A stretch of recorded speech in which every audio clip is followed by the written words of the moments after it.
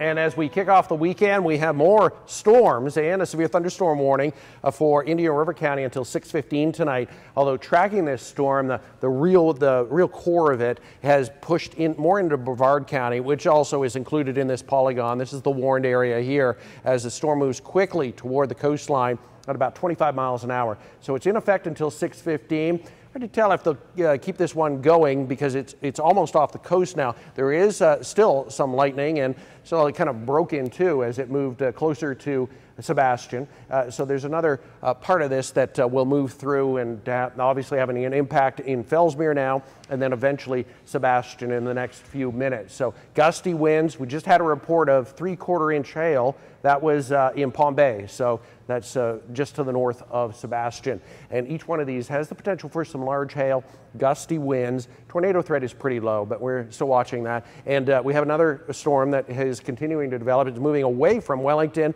Lion Country Safari, the acreage, and pushing now into West Palm, Riviera Beach, all the way up into or to Palm Beach Gardens now, and the Old Marsh. So maybe that's Donald Ross Boulevard and Abacoa down through PGA into 45th and Blue Heron and uh, working quickly, as I said, about 25 miles toward the east. That is a strong storm, not severe, but uh, lightning, hail, and strong winds, the biggest threat. The, the, flooding issue shouldn't be too significant simply because these storms are moving very quickly. So there'll, there'll be torrential downpours, but it shouldn't last too long. Everything starts to settle down through about 8, maybe 8.30 tonight. You'll see clearing sky and another round of showers and storms headed our way for tomorrow in the afternoon. There's 4 p.m you know, around the lake starts to bubble up and some of these will be strong and there is a marginal threat for severe weather on Saturday afternoon and again on Sunday. And then we'll start to change things up. All right, 7, 8, maybe into 9, still some wet weather. It's certainly clearing out after that, and our rain chances really drop, but it takes Monday before that happens.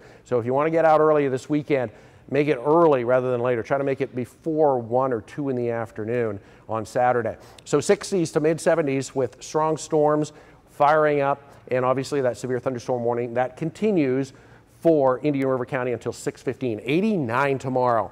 Breezy south winds and those afternoon storms again moving from the lake toward the coastline. Sunday, the stormy weather could start a little bit earlier on Sunday, and there'll be some strong storms again, and then a change in the weather pattern. Most of next week will be relatively dry, looking very pleasant, and a, a quite a bit cooler and less humid starting on Monday through Wednesday and Thursday.